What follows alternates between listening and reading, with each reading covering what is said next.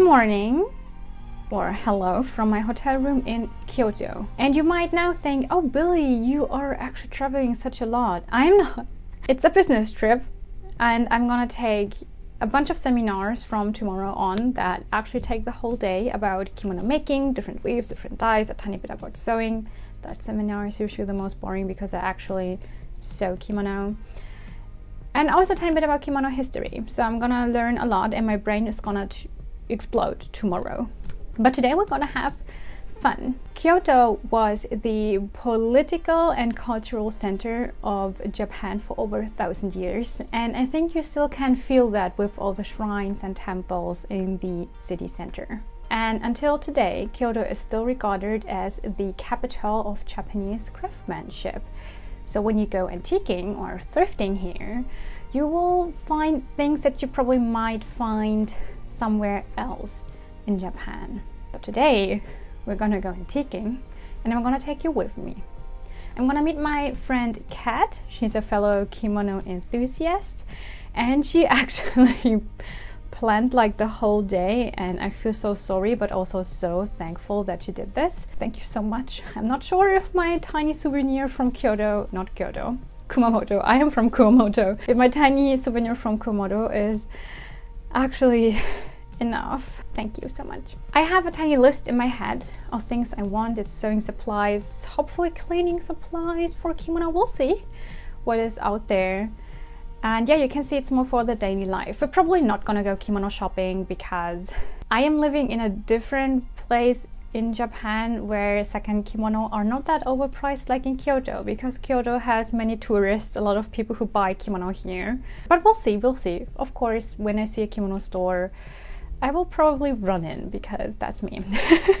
it's obviously raining cats and dogs today, and that is why I'm wearing these sandals. They're gonna look awful with this kimono, I swear. You know, I just didn't want to pack two pair of zori, so I'm gonna wear these sandals, I thought. I'm just gonna live with the fact I'm gonna look awful for a whole day. It's fine. And I also brought a raincoat. Where's my raincoat? Here. I brought my favorite raincoat. This raincoat. It's so cute and it's from H&M. I bought this, I think, 12 years ago when it was the first year in university and it's just a normal H&M raincoat and it works perfectly for kimono because it has these sleeves here. When you find this style somewhere online in a thrift store, I can only recommend. This was probably one of those buys I buys bought purchases. this is one of those fast fashion purchases I have never regretted. So yay for that. And because I have to bring you and my camera and everything, I will unfortunately have to bring this big bag with hedgehogs on it that I got for my birthday. Thank you. And while we're already in hedgehog mode, I don't have to show you that actually, but this is also a birthday present I get got from a patron. With hedgehogs. Oh my gosh, I'm already missing Francis so much. And my sewing teacher is super into leather craft, so she made this wallet bag. And she gave it to me before I went to Kyoto and said, Oh, try it in Kyoto and tell me how it is. I'm gonna take this one with me too. It looks very convenient actually. And because rain in Japan never means it's cooling down, it means it's still hot outside. I'm wearing a summer Remi kimono this brand new one. I'm really in love with this. And I'm wearing a Nagoya Obi that I made myself out of cotton, so it's 100% cotton. The only two real things that are silk in this outfit is my Sambuhimo and my Obiage. They're hopefully not gonna get wet, so it's gonna be fine. Okay, so let's put those shoes on and let's go.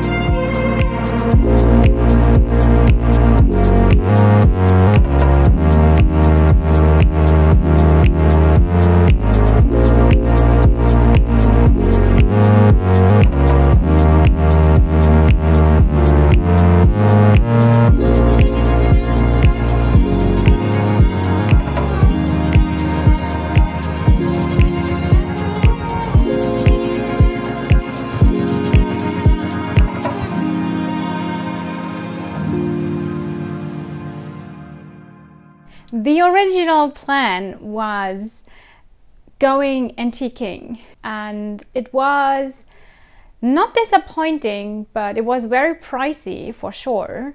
And also, not so many stores as I had expected. I also didn't find any of the stuff that I was actually actively looking for. I found some cute obidome.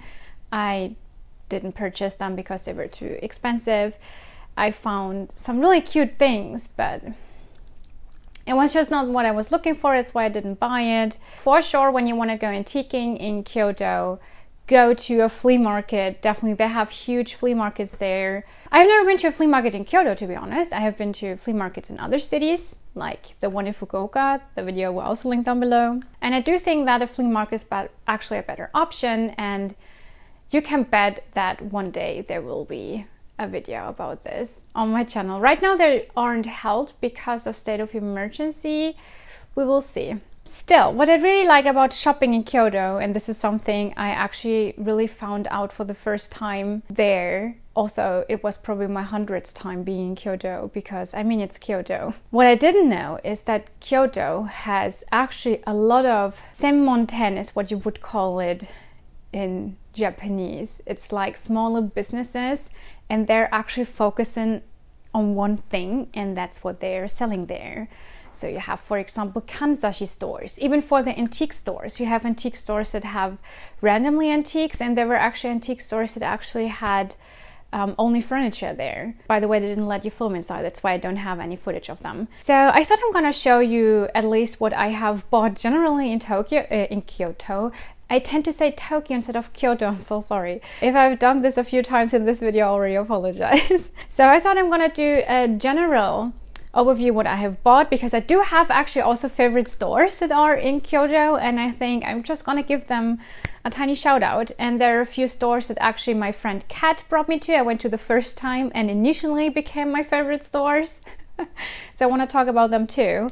And probably the next time when you're in Kyoto, you probably might want to check them out. So I'm going to start with just um, random kimono things because there is this one store in Kyoto that is called Otsuka Gofukuten. It's a it's a like a select shop. Do you call it select shop? Is that again Japanese English? In Japanese you call it selecto shop. It's like shops that only select specific pieces they really like and put it in their store. It's not like just one brand. They select different brands and put it in their store. And what Gofukuten is really modern style, very simple modern style, um, very casual kimono. Um, they don't sell like formal kimono, they're more on the casual kimono wave. They have really pretty stuff there. I will link their location down below. My story with Otsuka is actually quite long because I have found them when I migrated to Japan in my first year I've migrated to Japan and my best friend visited me. Hi, she's hope, probably not watching anyway. But um, we went to Kyoto and I saw this kimono store from far away and in the window they had this super colorful kimono. You might know it's it is extremely famous. It's probably everyone loves it kimono. I know. I've just put it into Araihari and it already came back. I already um, picked it up, so we'll have to resew it because it needed some starch to be re-strengthened because I wore it so often. That is that kimono I bought there. And since then, I'm just really in love with Otsuka Gofukuten. And when I make it to Kyoto, I go there. So I just got some kimono, um, small accessories for wearing kimono and I just found out I forgot one. I will have to bring that on. Give me a second. Okay, so what I got is um, two sambuhimo. I still haven't taken the tags off because I haven't worn them yet. And yeah, I wear sambuhimo a lot and this is actually a color I was really looking for. So this is cool. And I like when the sambuhimo are a tiny bit patterned, so yes. This is pretty cool. I also got a obiage for summer. Um, I'm still looking for obiage for summer because um, you should look for them throughout the year because when you look for a color that might everyone might be looking for, it's really hard to buy that. And it's really pretty pretty. It's Tango Chirimen, I think. Yeah, it's Tango Chirimen. So those are really easy to tie and I really love the color. By the way, the color you see on camera is not the exact color. and then I got a obidome from Kimito. They still had one left in the store, which is really cool because Kimito is one of my favorite brands for obidome. They're extremely popular. I'm gonna link them down below. You will love all of their stuff. And um, they only make every design just once. And when they sell out, they sell out. So they're not so easy to get. And I was really lucky because they had still one left and it was exactly uh, obidome I was looking for. You know that I wear a lot of white obidome and this also has a tiny bit of green here on the top. So it was just perfect. So I was kind of like, oh, is this Kimito? Okay, I'm gonna take that one too. so this is kind of the stuff you can get in Otsuka Gofukuten. So when you're in Kyoto and they're right in the center of any tourist spots. So when you visit Kyoto, please go. They're amazing. They're basically my favorite kimono store. They also have really cute zori. I have like I think three or four pair from them. In the street where we had started, there was a special store filled with buttons, only buttons and buckles. It was amazing. the old man there was fun as well. I can only recommend. And I've never seen so many buttons somewhere, not even in the fabric district in Tokyo. I have never seen so many buckles and buttons. And I definitely will go back to get some more buckles because I got a buckle. I got this buckle. And you might think, oh, Billy, why are you getting a buckle? You can use them for your hakama. Instead of tying the tie on the front, you can close them with a buckle. That's why I got one. Here's a buckle for more Hakama adventures and in Kyoto is actually one of my very favorite um, fabric stores. I usually purchase from them online. I follow them on Instagram. You should do. You should too. They're called uh, Nomura Tailor, and I bought a huge pile of corduroy because I'm planning on a corduroy hakama for a few years now since um, this fabric store had like the cutest corduroy in the cutest colors on their Instagram was kind of like screams hakama to me. so yes, I bought like um, four meters of this and I'm gonna put this into a hakama and I think it would really fit nicely with the buckle. Uh, they're probably basically my hakama store right now because um, the fabric I actually made my hakama of was also from Nomura Tailor. There is my favorite tenugui. We should talk a tiny bit about tenugui on this channel in the future because I use them a lot. Tenugui are Japanese handkerchiefs. Um, they're just a piece of cotton. They're just cut down. They're very narrow. They're just cut down. There's nothing sewed or whatsoever. And there's this one store Eirakuya. And they're really for tenugui, they're tiny bit prices. They're twice of like the normal price, but they're like the oldest cotton merchant in Japan because they exist since 1615. I got this really cute tenugui with Michael on a bicycle. I can't tell you how much I love this one. I don't know how I will use it, but I think even on my head, I actually like it. you could also just hang this up and put it on the wall if you if you're that kind of person, but I'm actually using them. And the reason why I actually said now I'm gonna buy one this time is because I really couldn't get around this Halloween tenugui. It's amazing. I love like all the tiny Michaels here. Like this little witch here in kimono is everything and I actually want her obi. I actually want this obi, I think. Can you see this? Has spider webs on it. it's just awesome. Um, there was this one kanzashi store and um, I walked by a few times and on the last day I decided to go in and I purchased two kanzashi. They even come in this little box here. It's like so nice. I bought myself a tiny ginkgo leaf. I tend to say ginkgo in Japanese too, but it's actually called icho in Japanese. I have a tiny obsession with ginkgo leaves because they're extremely pretty, but also they are the tree of Kumamoto City. yes, every city has a tree in Japan. But I think having actually ginkgo as a tree for their city is like most cities in Japan because come on, they're just really pretty. I talked a tiny bit to um, the lady in the store, and she filled me in that the um, artisan who actually made this kanzashi has passed away last year. So there, there will not be a second one of this. So I was kind of like, okay, then I will have to buy two. the second one is a tiny bit bigger. I'm totally for this. I'm actually happy I finally did the step and bought these. Um, you don't see me wearing kanzashi very often. It's basically just because I don't own many. Because I bought a few cheap in the past, and now I'm like on the. I need kanzashi to actually look like quality not like the cheap ones. This was my first step into quality kanzashi. They were also not too expensive. This one was around 150 euro. You might think this is expensive. It's not when you think it's handmade.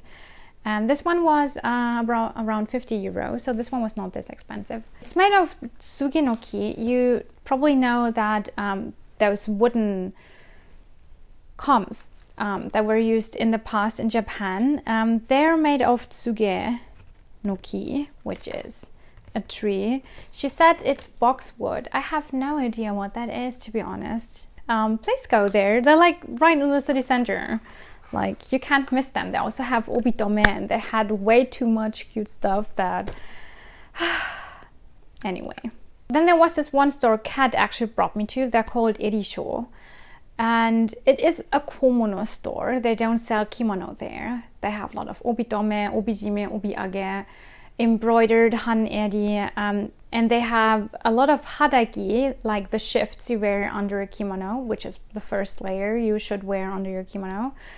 And what I found really cool there is that they have many different sizes. Like they have extra long sizes because when you're not a tiny and thin person, you might need extra long size for obijime and obiage to actually tie it nicely and don't have like the ends up peeking out somewhere here. Oh, you could see my cable all the time here. Why didn't you tell me, guys? When you want to have it really nice, you probably need an extra length, which is absolutely fine because they're produced. You just need the place to get them, and Erisho is one of them. Um, they also had like really cute shifts and they also make them in um, bigger sizes. You can also actually order them there, which was really cool. I didn't buy anything there because they didn't have anything that was like really peeking out, like, you know, something I really needed. I still want to recommend them to you because you need to know the places where you can buy bigger sizes. No, you don't have to force yourself into the smaller sizes when you don't want to. Another shop my friend Kat brought me to was actually a needle shop. It was a store only for needles. They have embroidery needles and sewing needles. They also have just pins to pin stuff together. It was the most exciting for me. this store exists already for, I want to say a century. I have to look it up. It was something with Edo period. They gave me like a whole cute um, pamphlet. I didn't really, my husband read it, I didn't. But they already existed in 1655. And um, it's hand, they also sell handmade needles there. Anyway, they also had something, and this is what I was actually super excited about. they had this box, and this is a traveling needle box Let's open it up. It contains a tiny pink cushion in the head of this box. Just so in love with this. They have tiny scissors, like super tiny scissors. They're so cute. And they are, by the way, handmade, they said, because they can't just industrially produce them in the size. And then we have some spools, or how you would call in Japanese, itomaki, we've already and they also it also has some needles in it. They are san no yon which means san are needles used for cotton sewing and yon is extremely long so this is basically just to sew a button on um, like what you have to fix. I'm definitely gonna put my needles my um, silk needles into it i would have actually i asked them i would have loved to be able to choose needles that come with this actually. That is what I would have really loved even if it's just five of those needles why don't you just let people choose the needles they're actually using then? We'll see if they're gonna take it into consideration. Okay that's um, basically it what i bought. I hope you enjoyed this tiny haul in the end of this video. When you're new here and you want to learn more about kimono from a professional kimono teacher please subscribe. I would be really happy to have you here. And Thank you so much for watching and I talk to you in my next kimono adventure. Bye! I was actually about to cover up the lens, but I'm not doing that. That's Rachel Maxey. Bye!